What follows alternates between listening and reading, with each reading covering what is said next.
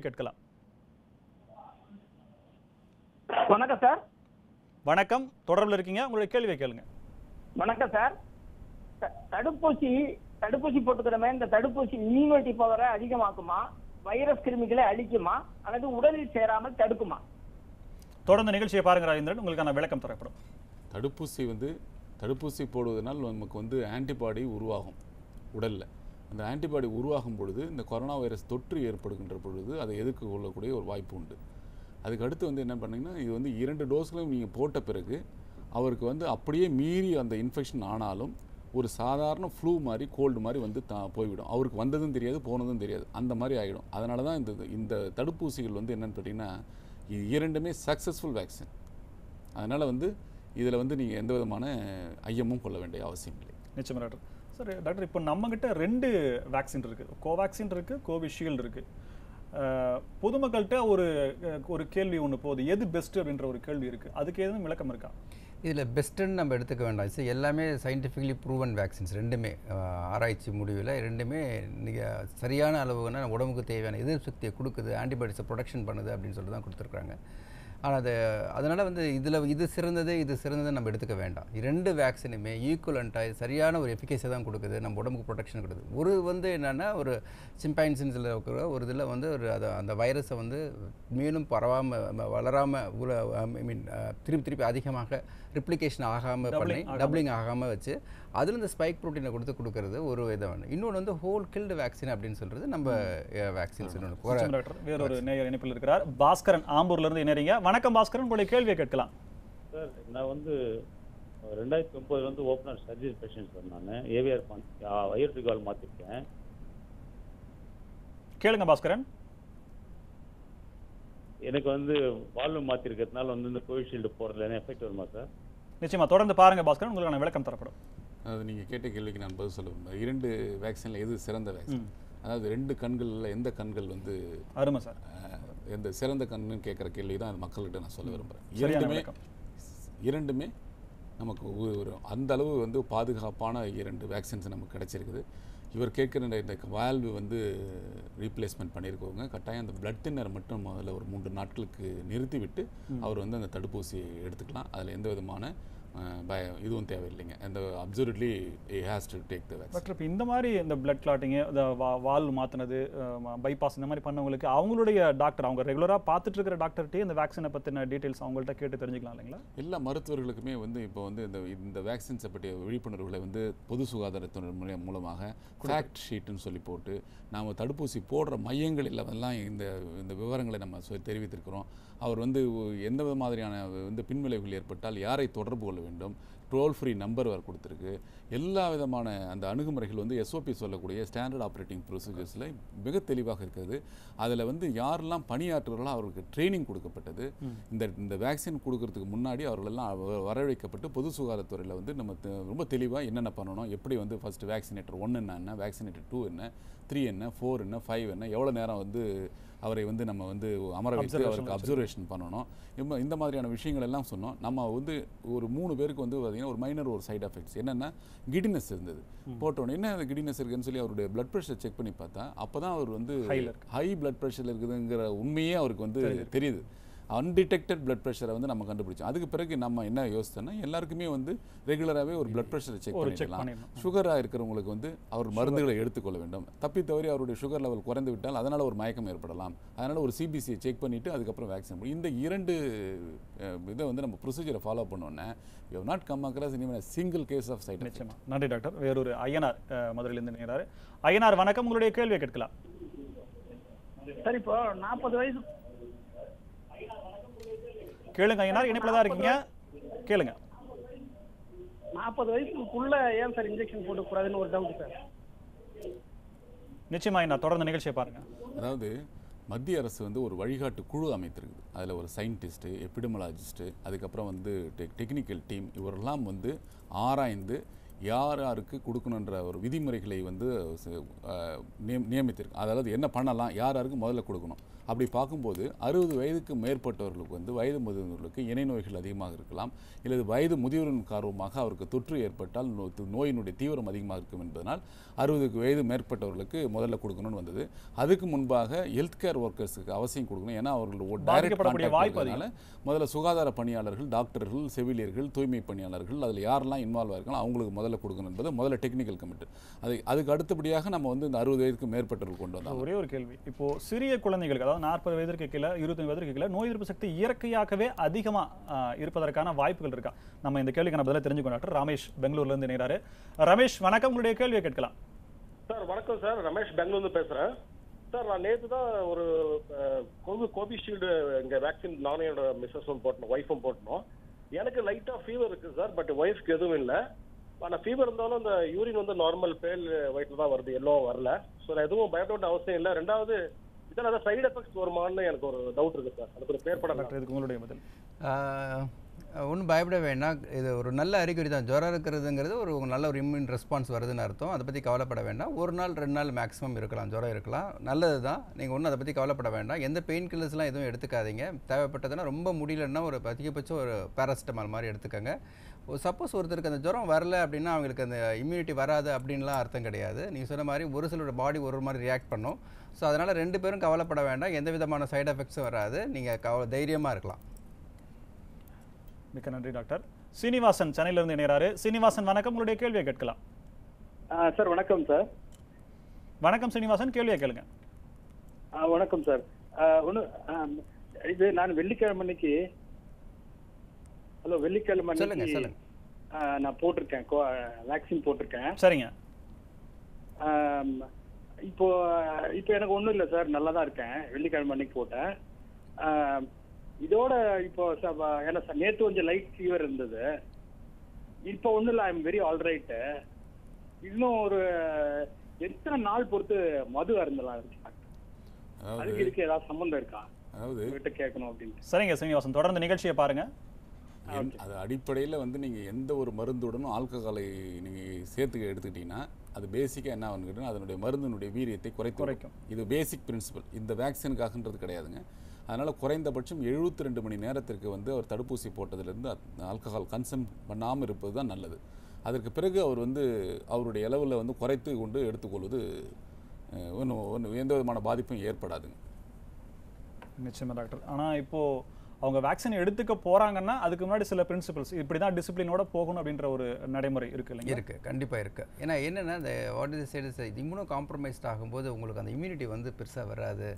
அப்படிங்கிற ஆல்ரெடி பிளட்ல அந்த ஆல்கஹால். இருக்கும். அப்போ இந்த வேக்சின் போகும்போது அந்த இம்யூனிட்டி நம்மளுக்கு நம்மளுக்கு ஒரு மருந்து செலுத்துறது தடுப்பு செலுத்துறதே நம்மளுக்கு எதிர்ப்பு சக்தி வரணும் அந்த எதிர்ப்பு பிளண்ட் பண்ற மாதிரி ஒரு பொருள் உள்ள இருக்கு அப்படின்னா அந்த மாத்து மருந்து பொருள் அடி- அடிப்படையே அடி வாங்குறது. அந்த ஒரு காரணத்துக்காக தான் இதை சொல்றாங்க.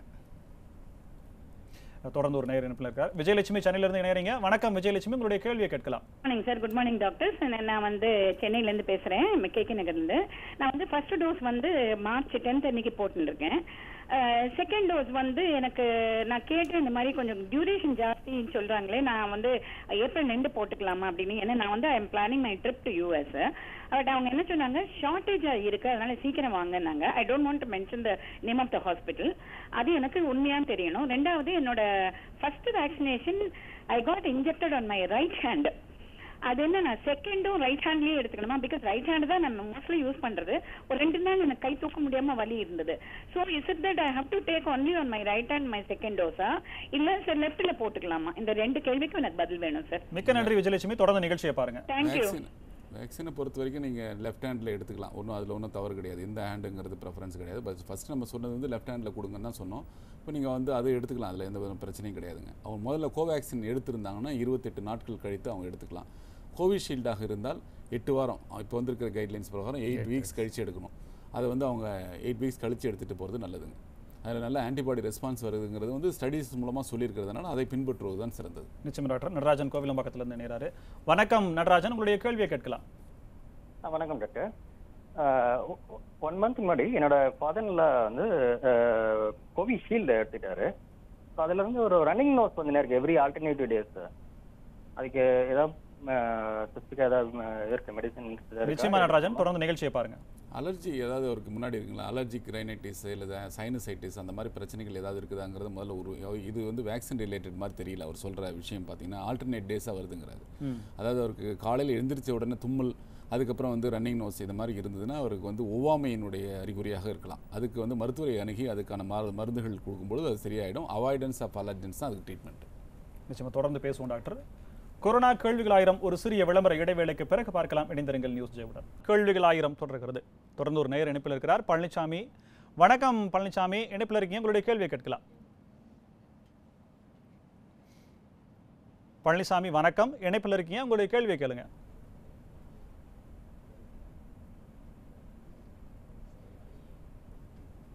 தொடர்ந்து மற்றொரு நேயர் செல்வம் வேதாரணியத்திலிருந்து இணைகிறார். செல்வம் வணக்கம். உங்களுடைய கேள்வியை கேட்கலாம். சார் நான் வேதாரணி செல்வம் பேசுறேன் சார் இணைப்பில் இருக்கீங்க? கேளுங்க செல்வம். வணக்கம். ஆ, காலு போன மாசம் நாலாம் தேதி போட்டேன் சார் இன்ஜெக்ஷன் ஒன்று சொல்லுங்க. தொடர்ந்து பேசுங்க. நாலாம் நாலாம் தேதி இன்ஜெக்ஷன் போட்டேன். செல்வம் இணைப்பில் இருக்கீங்க? தொடர்ந்து பேசுங்க. ஆ அதுக்கு பிறகு கால் வந்து வீங்கி போச்சு சார். போட்ட நேரத்தில் ஃபீவர் வந்தது. யுவரின் அடைப்பு யுவரின் அடைப்பு வந்துட்டு மஞ்சளா போணுச்சு. சரி. இப்போ அதுக்கு இடையில மருத்துவம் எல்லாம் பண்ணி இன்ஜெக்ஷன் எல்லாம் போட்டு அப்புறம் சரியாயிடுச்சு அது. இப்போ வீக்கம் வடிய மாட்டேங்குது சார். கால் வீக்கங்களா? கால் வீக்கமா? ரெண்டு கால் வீக்கமா இருக்கு சார். முன்னரே உங்களுக்கு இந்த மாதிரி ஏதாவது வந்திருக்கா? நோய்கள்? இல்ல இதுக்கு மேல இதுக்கு முன்னாடி அந்த மாதிரி கிடையாது. சரிங்க தொடர்ந்து நிகழ்ச்சியை பாருங்க உங்களுக்கான விளக்கம் தரப்படும். Okay sir okay sir. ரொம்ப நன்றி நீங்க இதற்கான பதில். நீங்கள் ஆக்சுவலி ஒரு ஊசி போட்டதுக்கப்புறம் உங்களுக்கு வேறு ஏதோ ப்ராப்ளம் இந்த ஊசிக்கும் தடுப்பூசிக்கும் அதுக்கும் அன்ரிலேட்டடாக ஒரு ப்ராப்ளம் வந்திருக்கு. அந்த யூரின் போனால் கொஞ்சம் மஞ்சளாக இருக்குது அடைப்பு இருக்கிறது அப்படின்னு சொல்லி சொல்லியிருக்கீங்க. அது இல்லாமல் கால் வீக்கம் வருதுன்னு சொல்லியிருக்கீங்க. அந்த கால் வீக்கத்துடைய காரணம் என்னன்னு நம்ம கண்டுபிடிக்கணும் ஆக்சுவலி இது தடுப்பூசிக்கும் இதுக்கும் சம்மந்தமே இல்லை. இந்த கால் வீக்கத்துக்கு நிறைய காரணம் இருக்கலாம். ஹார்ட் ப்ராப்ளம் இருக்கலாம் லிவர் ப்ராப்ளம் இருக்கலாம் கிட்னி ப்ராப்ளம்ஸ் இருக்கலாம். ஸோ அது என்ன இருக்குது அப்படிங்கன்னு சொல்லிட்டு உங்களுடைய குடும்ப மருத்துவரிடம் சென்று நீங்கள் ஆலோசித்து விட்டு நீங்கள் அடுத்த தடுப்பூசி போகிறத பற்றி அவரிடம் கேட்டுக்கொண்டு நீங்கள் போட்டுக்கலாம். கண்டிப்பாக அடுத்த தடுப்பூசி நீங்கள் போட வேண்டும். மிக்க நன்றி டாக்டர். தயாளன் சேலத்திலிருந்து நேராரு வணக்கம் தயாளன். உங்களுடைய கேள்வியை கேட்கலாம்.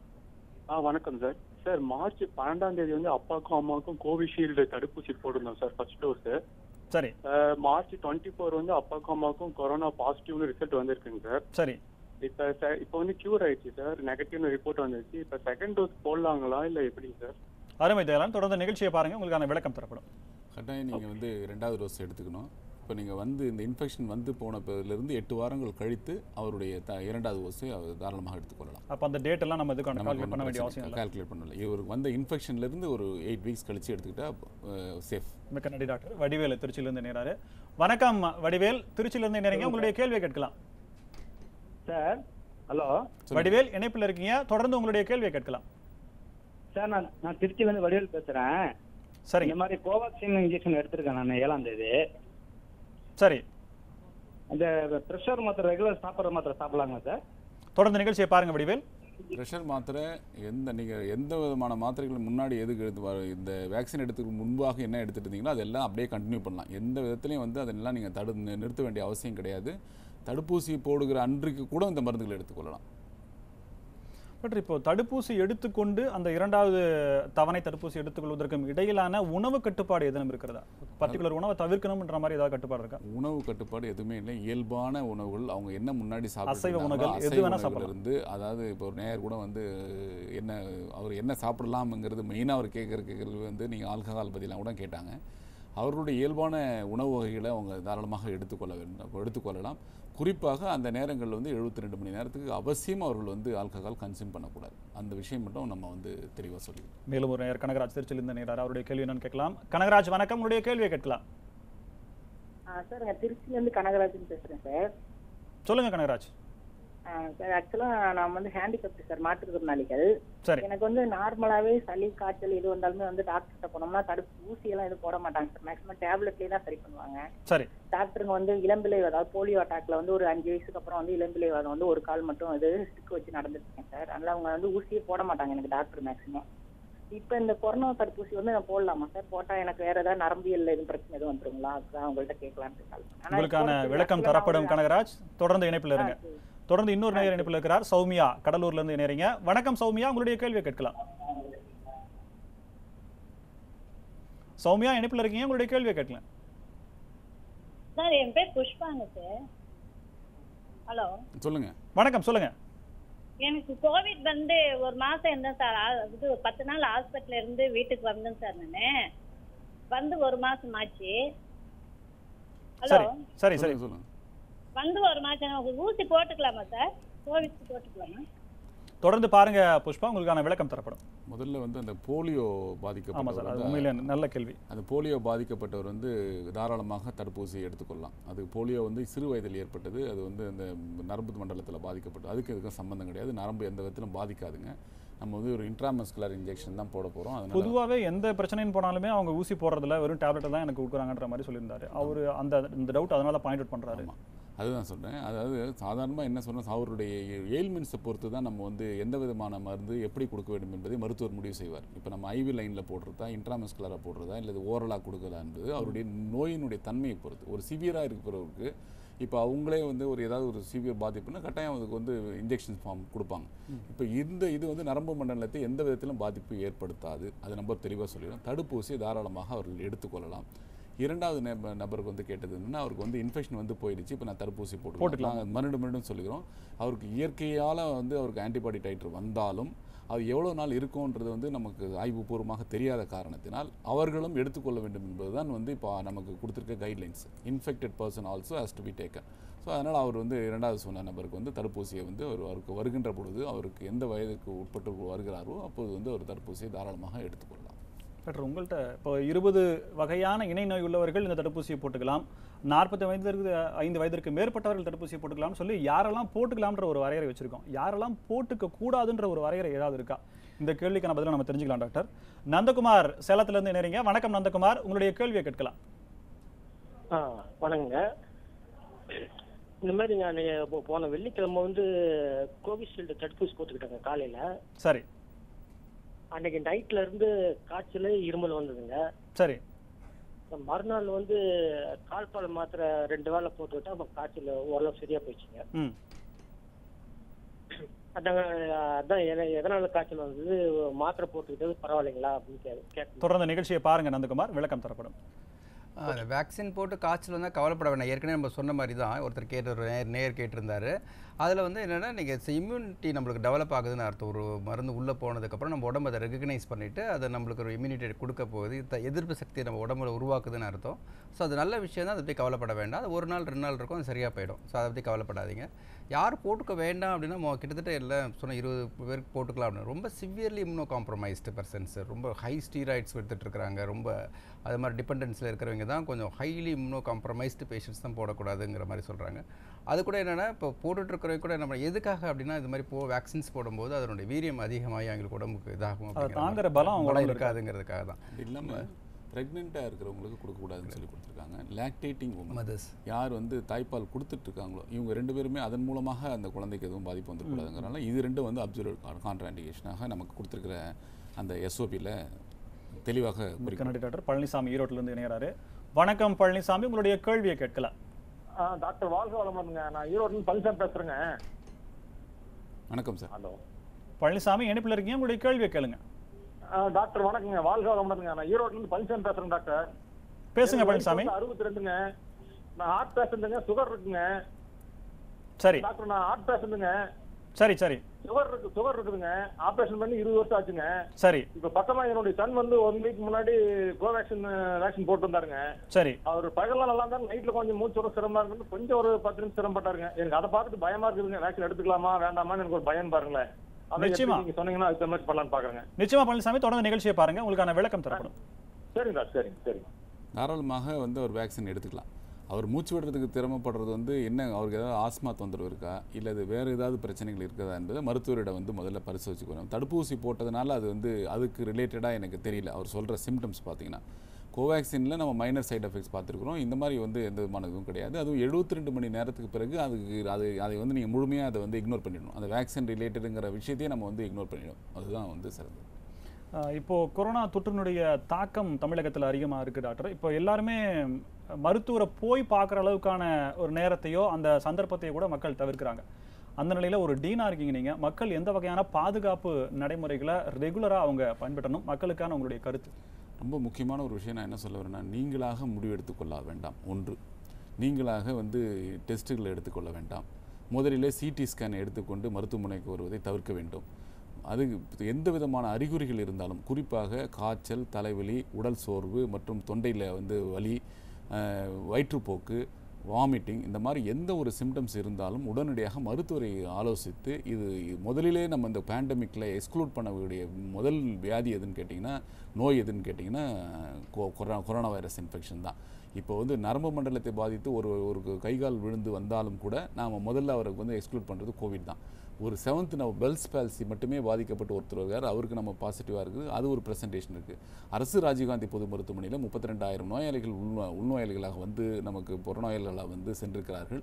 அவருடைய நோய் அமைப்பு இந்த நோயில் எந்த விதமான எந்த எந்த மாதிரியான ஒரு கிளினிக்கல் மேனிஃபெஸ்டேஷன் வந்திருப்பது என்பதை எங்கள் மருத்துவர் குழு வந்து மிகவும் தெளிவான ஒரு கண்ணோட்டத்துடன் புரோட்டோகாலை வந்து மிக தெளிவாக இதுக்கு வந்து நம்ம நியமித்திருக்கின்ற காரணத்தால் மருத்துவர்கள் வெல்வெஸ்டாக இருக்கிறாங்க. முன்பு வந்து இந்த நோய் வரும்பொழுது எந்த மருந்தை செலுத்த வேண்டும் எந்த மருந்தை நம்ம அடுத்ததாக கொடுக்க வேண்டும் என்கின்ற ஒரு தெளிவில்லாமல் இருந்த அந்த காலகட்டத்திலே நாம் வென்றுவிட்டு வந்திருக்கிறோம். இப்போ வந்து உட்கட்டமைப்பு வந்து மிக தெளிவாக இருக்கிறது. அனைத்து வெண்டிலேட்டர் வசதிகள் மருந்துகள் மற்றும் மருத்துவ பணியாளர்கள் செவிலியர்கள் சுகாதார பணியாளர்கள் அதே மாதிரி ட்ரீட்மெண்ட் கொடுக்கக்கூடிய என்ன கொடுக்கணுங்கிறது ரொம்ப தெளிவாக இருக்கிறோம். அதே மாதிரி ரெம்டெசிவிர் போன்ற மருந்துகள் உயர்தரமான சிகிச்சை மருந்துகள்லாம் வெளிநாடுகளிலே சில நேரங்களில் கிடைக்காம தட்டுப்பாடுகள் இருக்கின்ற நேரத்தில் நமக்கு வந்து எல்லா விதமான மருந்துகளும் வந்து தங்கு தடை இல்லாமல் அரசு ஏற்பாடு செய்திருக்கிறது. அந்த வகையில் அந்த அமைப்பும் இருப்பதனால் அரசு மருத்துவமனைக்கு வந்து அதற்கான சிகிச்சைகளை எடுத்து இதனுடைய நோய் கட்டுப்பாட்டு வந்து கொண்டு வருவதற்கான மூன்று கவசங்களை முதல் தடுப்பூசியாக எடுத்துக்கொண்டு இரண்டாவது வந்து கோவேக்சின் கோவிஷீல்டாக எடுத்துக்கொள்ள என்பதுதான் என்னுடைய அன்பான வேண்டுகோள். அதை அவர்கள் பின்பற்றினார்களால் இந்த நோயை நாம் விரைவிலே வென்று விடுவோம். இந்த கொரோனா தொற்றிலிருந்து நம்ம மீள்வோம் என்பதிலே எந்த விதமான மாற்று கருத்தும் இருக்கு நிச்சயமா டாக்டர். இப்போ கொரோனா நோயாளிகளை நீங்க அதிகம் பார்க்குறீங்க டாக்டர். ஏன்னா கொரோனா ஒருங்கிணைப்பு அதிகாரியா இருக்கிறீங்க நீங்க. மக்கள் செய்யற எந்த குறிப்பிட்ட தவறுனால இந்த தொற்றுக்கு அவங்க அதிகமா ஆளாக்கப்படுறாங்க? எதுல அவங்க ஜாக்கிரதையா இருக்கணும்? அஜாக்கிரதையா எதுல இருக்கிறாங்க? உங்களுடைய பார்வை. இதை சொன்ன மாதிரி லாஸ்ட் இயர் பார்த்தீங்கன்னா இதே மார்ச் டைமில் வந்து ஜனங்களுக்கு வந்து பயம் அதிகமாக இருந்தது. நோய் சொல்றதெல்லாம் கேட்டாங்க. சொல்றதெல்லாம் கேட்டாங்க. இப்போ எங்களுக்கு ஒரு வருஷம் ஆனோன்னா என்ன எடுத்து எங்களுக்கு நாங்கள் பார்க்காத கொரோனாவா அப்படிங்கிற மாதிரி. சரி யார்கிட்ட பேசினா கூட என்ன சொல்கிறாங்க அதெல்லாம் வராது டாக்டர். நல்லா பார்த்துக்கலாம். அப்படின்ற ஒரு அலட்சியம் இருக்குது இந்த அலட்சியம்க்கு தான் அதை எப்பயுமே சொல்லுவாங்க. இந்த ஃபர்ஸ்ட் வேவ் விட செகண்ட் வேவ் ரொம்ப மோசமாக இருக்கும். ம். ஃபர்ஸ்ட் வேவ் விட செகண்ட் வேவ் அதிகமான மக்களை பாதிக்கும். ஃபர்ஸ்ட் வேவ் விட செகண்ட் வேவ் நிறைய பாதிப்புகளை ஏற்படுத்தும். ஃபர்ஸ்ட் விட செகண்ட் வேவ் டிஃப்ரெண்ட் மேனிஃபெஸ்டேஷன் வரும். வித்தியாசமாக ஒரு கிளினிக்கல் ப்ரெசன்டேஷன் கொடுக்கும். ஸோ இவ்வளவும் கொடுக்குற போது தான் நம்ம செகண்ட் வேவ்ல தான் என்ன சொல்கிறாங்கன்னா இதுதான் சொல்லுவாங்க. ஒரு அலட்சிய போக்கு தான் இந்த செகண்ட் வேவுக்கு முக்கியமான காரணம்பாங்க. மேலும் இந்த ஒரு வருஷம் அந்த கொரோனா இருக்கும்போது தன்னை உருமாற்றிக்கிட்டு என்ன பண்ணும்? அதுக்கு ஏற்ற மாதிரி அடாப்ட் பண்ணும். ஸோ அதுவும் அடாப்ட் ஆகும். நம்ம எப்படி நம்ம அடாப்ட் ஆகிறோமோ? மரணிக்க அது விரும்பாது. ஆமா. இன்னும் வேற உயிர் வேற மாதிரி அது. அது வீரியம் அதிகமாகும். சம்டைம்ஸ் நம்ம நேரம் வீரியம் கம்மியாக இருந்தால் சந்தோஷம். நம்ம வரது வீரியம் அதிகமாக இருக்குன்னா ரொம்ப இன்ஃபெக்ஷியஸ் ஆயிடுச்சுன்னா ஈஸியாக எல்லாருக்கும் ஸ்ப்ரெட் ஆகிட்டே இருக்கும். ஸோ இதில் முக்கியமாக ஜனங்க அலட்சியம் எனக்கு வராது எனக்கு இல்லை. இந்த டினையல் சொல்லுவாங்க. நேற்று நம்ம யாரும் யாரும் பண்ணி கேட்கணும் அதெல்லாம் இருக்காது டாக்டர் அப்படிம்பாங்க. அழகாக சொல்லுவாங்க. ஸோ நான் சொன்னேன் "நீ பண்ணுங்கம்மா அப்படின்னு சொன்னால் உடனே போய் பண்ணி பார்த்தா ஐயோ அம்மா டாக்டர் நல்லதா போச்சு பண்ண சொன்னது. ஸோ ஃபர்ஸ்ட் ஆஃப் ஆல் அலட்சியத்தை எடுக்க சொல்லுங்கள் நம்மளுக்கு ஃபஸ்ட்டு இதை ஜுரம் வந்ததுன்னா இந்த காலகட்டத்தில் ஃபஸ்ட்டு சார் சொன்ன மாதிரி ஃபஸ்ட்டு நீங்கள் செய்ய வேண்டியது எனக்கு கொரோனா இருக்கா இல்லையாங்கிறத பரிசோதனை உட்பரிசோதனை படிக்கங்க. கவர்மெண்ட் ஹாஸ்பிட்டலில் கவர்மெண்ட் சென்டரில் கவர்மெண்ட் இன்ஸ்டிடியூஷன்ஸில் பிஹெச்சில் இதில் ஜிஹெச்லாம் என்ன பண்ணுறாங்க கொரோனா ஃப்ரீயாக பண்ணிட்டு இருக்காங்க டெஸ்ட் பண்ணிட்டு இருக்காங்க. தயவுசெய்து நீங்கள் அங்கே போயிட்டு எனக்கு இது மாதிரி ஜுரம் இருக்குது எனக்கு இருக்குன்னு சொன்னீங்கன்னா டெஃபினட்டாக பண்ணி கொடுத்துட்டு உங்களுக்கு இருக்கா இல்லையான்னு சொல்லுவாங்க. இது இதில் என்ன அட்வான்டேஜ்னா நீங்கள் வீட்டுக்கு போகிறீங்க ஒரு நாள் ஜுரம் இருக்கும் அது கொரோனா வந்திருக்கலாம் you will spread to everybody so அந்த ஸ்ப்ரெட்டிங் இந்த ஒரு சோஷியல் எண்ணம் மனசில் வரணும். நம்மளால் இன்னொருத்தருக்கு பரவக்கூடாது. அதால் இன்னொரு பத்து பேருக்கு பரவக்கூடாதுன்ற ஒரு எண்ணம் வந்துருச்சுனாவே நாம் என்ன பண்ண அந்த அலட்சிய போக்கு இருக்கான்னு ஃபஸ்ட்டு செக் பண்ணிக்கிறது. மூணாவது ரெண்டு நாள் ஜுரம் நின்னதுக்கப்புறம் எனக்கு இன்னும் நல்லா ஆயிடுச்சு அப்படின்னு சொல்லிட்டு சம்டைம்ஸ் இது ஹாப்பி ஹைபாக்சின்ற மாதிரி சொல்லுவாங்க. அவங்க உடம்பு நல்லா இல்லை இருக்கப்ப நல்லா இருக்க மாதிரி ஒரு ஃபீலிங் இருக்கும். டக்குன்னு பார்த்தா ப்ராப்ளம் ஆகிடும் ஸோ அதுக்கும் இது ஜுரம் வந்து ஒரு பத்து நாள் தன்னையே என்ன பண்ணணும்? சுயசரியம் பண்ணிக்கணும். நல்லா இருக்கமா? நல்லா இருக்கமா? மூச்சில் கஷ்டமாக இருக்கா? நடந்தால் மூச்சு வாங்குதா? அப்படி தான் என்ன உடனே டாக்டர்கிட்ட போயிட்டு எதாவது பண்ணலாமா? ஸோ இது மாதிரி ஏன்னா இது மாதிரி ஒரு பேண்டமிக் டைமில் ஒரு ஒரு சிட்டிசனும் ஒரு ஒரு சிட்டிசனும் தே ஷுட் கான்ட்ரிபியூட் அப்போ தான் இது கொஞ்சம் நல்லா இருக்கும் டாக்டர் இது ஒரு பேண்டமிக் டைம் ஒரு பெரிய போராட்டத்தை நம்ம எதிர்கொண்டிருக்கிறோம். நோய் தொற்று ஏற்படும் மரணம் வரை போகக்கூடும்ன்ற தெரிஞ்சே மருத்துவராகிய நீங்கள் எங்களுக்கு சிகிச்சை கொடுக்குறீங்க. அதுக்கான வழிமுறைகளை கொடுக்குறீங்க. உங்கள் இருவருக்கும் முதல்ல நியூஸ் ஜெயன் சார்பாக நன்றி. உங்களோடு சேர்த்து உங்களுடைய சக மருத்துவர்கள் மற்றும் பணியாளர்களுக்கும் நியூஸ் நன்றி தெரிவித்துக் கொள்கிறது. நேர்களை இத்துடன் கொரோனா கேள்விகளாயிரம் நிறைவு பெறுகிறது. இணைந்திருங்கள் நியூஸ் ஜெயுடன் நன்றி.